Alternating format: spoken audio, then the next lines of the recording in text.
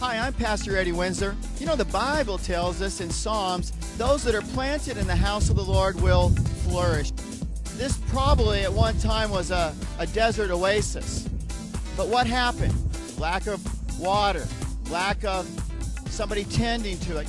A few days ago, I was speaking to a person who had lived in the desert for many, many years, and they made the comment that they never thought that there would be so many palm trees and, and golf courses. In fact, they use words to describe the desert like it, it was a wasteland. There was sand everywhere and sand got everywhere.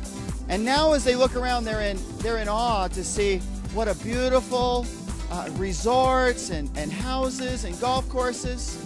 You know, a lot of people, they'll plant themselves in organizations, they'll plant themselves in a, in a good charity, but they'll maybe that that effort that they're putting their life into, maybe it is prospering, but when you look at their personal life, it's not prospering.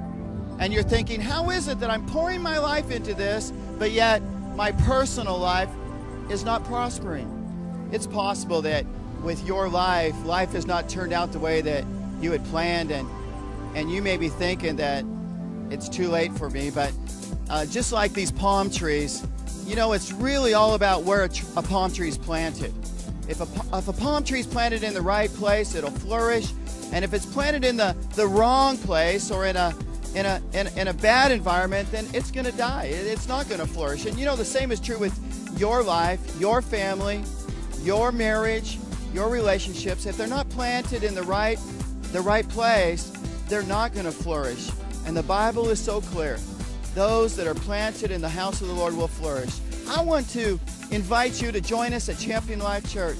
We have great children's ministry, youth ministry, adult ministry.